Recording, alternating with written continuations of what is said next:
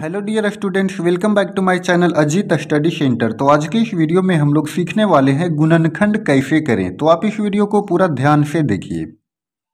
तो यहाँ पर देखिए फ़र्स्ट क्वेश्चन है एक्स स्क्वायर माइनस पच्चीस और सेकेंड क्वेश्चन है एक्स के पावर में चार माइनस छः सौ पच्चीस।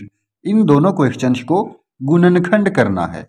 तो चलिए गुणनखंड करते हैं ये दोनों क्वेश्चन को। सबसे पहले देखिए फ़र्स्ट क्वेश्चन में एक्स स्क्वायर माइनस पच्चीस है तो हम इसको लिख सकते हैं एक्स स्क्वायर माइनस पच्चीस को हम लिख सकते हैं पाँच का स्क्वायर। पाँच का स्क्वायर हम लोग इसलिए लिख सकते हैं क्योंकि इसको पाँच गुना पाँच जब हम करेंगे तो ये पच्चीस ही होगा। अब यहाँ पर देखिए एक्स स्क्वायर माइनस पाँच का स्क्वायर, यानी कि अगर हम इसको देखते हैं तो ये एक फॉर्मूला में टूट गया। कौन सा फॉर्मूला में? A square minus b square में। और हम लोग सभी को पता है कि a square minus b square का फॉर्मूला होता है a plus b into a minus b. यानी कि यहाँ पर देखिए, ए के जगह में एक्स है और बी के जगह में पाँच है। तो हम इसको तोड़ देंगे, a plus b into a minus b में।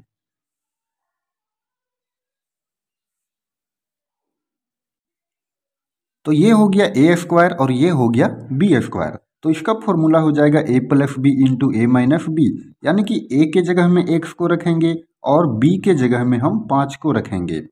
तो ए प्लस पाँच, यानी कि एक्स प्लस पाँच इंटू ए माइनस बी यानी कि एक्स माइनस पाँच. ये इस क्वेश्चन का आंसर हो गया. अब हम चलते हैं सेकेंड क्वेश्चन में. सेकेंड क्वेश्चन में देखिए एक्स के पावर में चार है. और 625 है।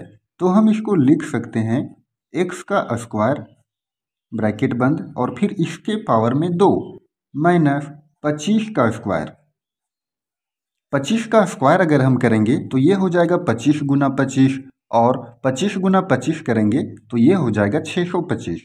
तो इसको हम लोग लिख सकते हैं पच्चीस का स्क्वायर और एक्स के पावर में चार को हम लोग लिख सकते हैं एक्स का स्क्वायर और फिर इसके पावर में दो। यानी कि ये जो दो है और ये जो दो है, यहाँ पर गुना हो जाएगा। तो ये हो जाएगा दो दूना चार, यानी कि यही चार यहाँ प्राप्त होगा। अब यहाँ देखिए, अगर हम इसको स्क्वायर माने और इसको भी स्क्वायर माने और इसको ए और इसको बी माने तो ये हो गया a square minus b square. तो इसको भी तोड़ देंगे, a plus b into a minus b में। तो ए के जगह में क्या है? एक्स स्क्वायर है और बी के जगह में पच्चीस है। तो चलिए इसको तोड़ दीजिए। ए प्लस बी यानी कि एक्स स्क्वायर प्लस पच्चीस इंटू ए माइनस बी यानी कि एक्स स्क्वायर माइनस पच्चीस। अब यहाँ पर देखिए, ये एक्स स्क्वायर प्लस पच्चीस रहेगा। और फिर यहाँ पर देखिए, ये एक्स स्क्वायर है तो एक्स स्क्वायर लिख दिए। अब यहाँ माइनस है तो माइनस, पच्चीस है यहाँ पर। तो पच्चीस को हम लोग क्या लिख सकते हैं? पाँच का स्क्वायर। पच्चीस को लिख सकते हैं पाँच का स्क्वायर। अगर हम इसको पाँच का स्क्वायर करेंगे तो ये हो जाएगा पाँच गुना पाँच और फिर ये हो जाएगा पच पचे पच्चीस। तब यहाँ पर देखिए एक्स स्क्वायर प्लस पच्चीस। अब यहाँ पर देखिए, a square minus b square का फॉर्मूला में टूट गया। और अभी हम लोगों ने जस्ट पढ़ा था कि a square minus b square का फॉर्मूला होता है a plus b into a minus b. तो यहाँ पर देखिए ए के जगह में एक्स है और बी के जगह में पाँच है। तो इसको हम लोग तोड़ देंगे। ए प्लस बी यानी कि एक्स प्लस पाँच और ए माइनस बी यानी कि एक्स माइनस पाँच में। तो इस तरह से इस क्वेश्चन का ये आंसर हो जाएगा। तो स्टूडेंट्स, आई होप कि आपको गुणनखंड करना अच्छे से समझ में आ गया होगा।